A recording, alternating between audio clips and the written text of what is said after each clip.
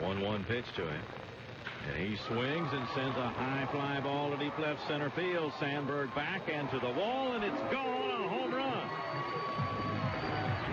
Ryan O'Hearn, his league leading 13th home run of the year, sent it out of here to left center.